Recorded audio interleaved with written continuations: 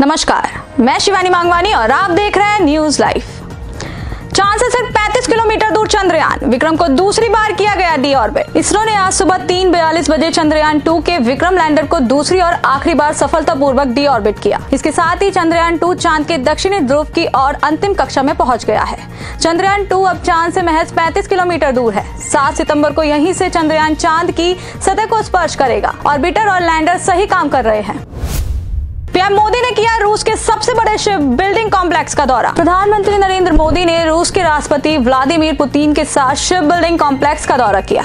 यह रूस का सबसे बड़ा शिप निर्माण केंद्र है। इससे पूर्व रूस के उप विदेश मंत्री इगोर मॉर्गुलोव की उपस्थिति में पीएम मोदी को व्लादिवोस्टॉक हवाई अड्डे पर गॉड ऑफ़ ऑनर दिया गया।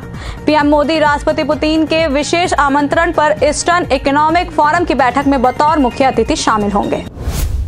रूस के सुदूर पूर्व क्षेत्र का दौरा करने वाले पहले पीएम बने मोदी। पीएम मोदी रूस के सुदूर पूर्व क्षेत्र का दौरा करने वाले देश के पहले प्रधानमंत्री बन गए हैं।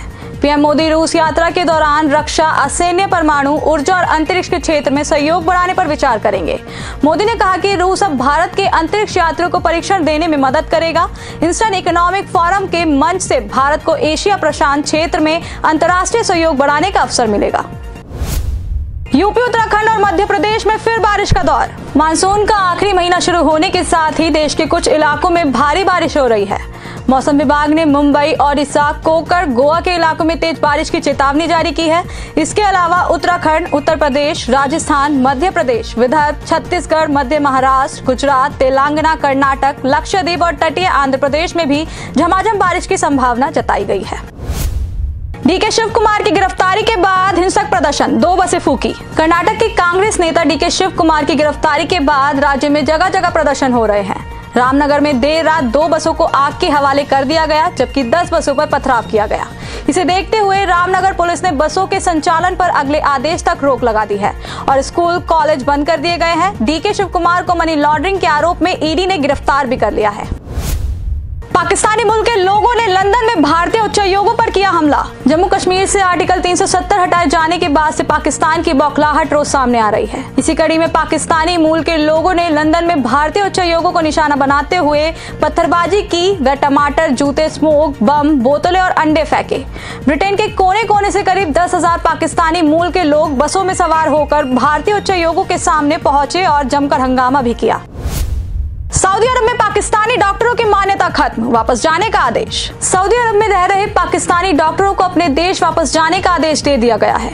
सऊदी अरब सरकार ने पाकिस्तान से एमएस और एमडी की डिग्री लेकर आए डॉक्टरों को अयोग्य ठहराते हुए कहा कि पाकिस्तान में इन दोनों डिग्री की पढ़ाई उस स्तर की नहीं है।